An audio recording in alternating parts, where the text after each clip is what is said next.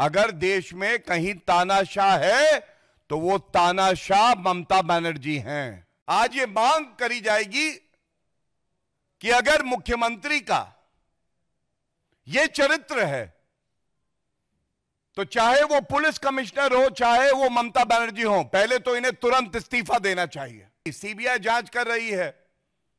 वो polygraph test करे ममता बनर्जी का और पुलिस कमिश्नर का। क्योंकि सत्य को दबाया नहीं जा सकता है। कोलकाता के आरजी कर मेडिकल रेप मर्डर मामले पर भाजपा नेता गौरव भाटिया ने कहा है कि अगर देश में कोई तानाशाह है तो वो तानाशाह ममता बनर्जी है। सच सामने आना चाहिए। जाँच एजेंसी सीबीआई को ममता बनर्जी और पुलिस कमिश्नर पर पॉलीग्राफ टेस्ट करना चाहिए। इसको लेकर क्या कुछ कह रहे हैं भाजपा नेता गौरव भाटिया? सुनिए। नबन्ना में हम देख रहे हैं हो रहा है वो चिंताजनक है। वो संविधान को तार तार करने वाला है और स्पष्ट दिखाई दे रहा है कि अगर देश में कहीं तानाशाह है, अगर देश में कहीं तानाशाह है तो वो तानाशाह ममता बनर्जी हैं। और ऐसा क्यों कहा जा रहा है? हमने देखा किस तरह से आरजी कर मेडिकल कॉलेज में जिस तरह से एक जघन्य अपराध होता है, हमारी बहन, उनके साथ उनकी हत्या कर दी जाती है और बलात्कार होता है।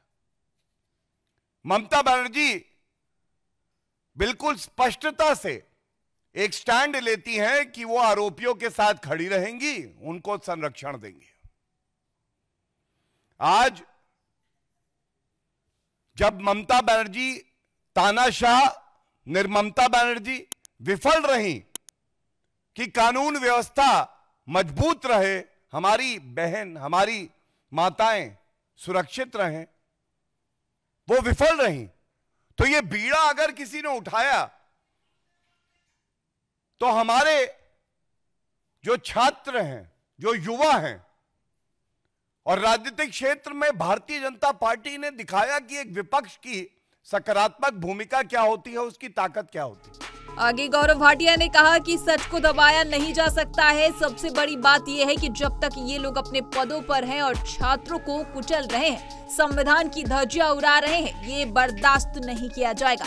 इस मुद्दे को मजबूती से उठाया जाएगा, जैसे कि आज उठाया गया है। इसी के साथ आगे क्या कुछ कह रहे हैं गौरव भाटिया, सुनिए। हम सब जानते हैं कि इससे पहले भी जब छात्र शांतिपूर्वक, जो कि उनका संवैधानिक अधिकार है, कि प्रदर्शन करें तो लूँगी वाहिनी, जो घुसपैठिए जिनका धर्म देख के टीएमसी का उनको सदस्य माना जाता है, पुलिस जो है वो मूक दर्शक बनी रहती है, चुप्पी साथ देती है। और जहाँ हमारे डॉक्टर, युवा साथी, सारे छात्र प्रदर्शन कर रहे थे, उस पूरे मंच को ध्वस्त कर दिया गया, हाथापाई की गई। और अब हम जो देख रहे हैं, वही कार्य नबन्या अभियान जो है, वहाँ क्या हो रहा है? वहाँ फिर से पुलिस मुस्तैदी से खड़ी है। वाटर कैनन, डंडे चलाना, बल्कि बड़े बड़े कंटेनर लाए गए हैं। कंटेनर और डंडे, वाटर कैनन जैसे ये आरोपी हैं। इन्होंने दुष्कर्म किया है। यह है तानाशाह ममता बनर्जी की आँखें। जिन आँखों में एक जगन्य अपराधी के लिए प्यार है, लेकिन जो छात्र हैं, जो डॉक्टर हैं, उनके लिए सख्त कार्रवाई करने के लिए पुलिस को खड़ा करा देती हैं। यह चिंताजनक है। और मैं इस प्रथम बिंदु में आज एक बात स्पष्ट कर दूँ, तानाशाह ममता बनर्जी। और साथ में वो पुलिस कमिश्नर, जिन्होंने इसको आत्महत्या बताया था, और उसके बाद सर्वोच्च न्यायालय और कलकत्ता उच्च न्यायालय से फटकार लगी। आज ये मांग करी जाएगी कि अगर मुख्यमंत्री का ये चरित्र है तो चाहे वो पुलिस कमिश्नर हो, चाहे वो ममता बनर्जी हो, पहले तो इन्हें तुरंत इस्तीफा देना चाहिए, जिससे कि एक निष्पक्ष जाँच हो सके। दूसरी बात, सत्य को बाहर आना चाहिए, इसलिए जाँच एजेंसी, सीबीआई जाँच कर रही है। वो पॉलीग्राफ टेस्ट करे ममता बनर्जी का और पुलिस कमिश्नर का, क्योंकि सत्य को दबाया नहीं जा सकता है। और सबसे बड़ी बात यह है कि जब तक ये लोग अपने पदों पे बने हैं और छात्रों को कुचलने का काम कर रहे हैं, ये संविधान को तार तार कर रहे हैं।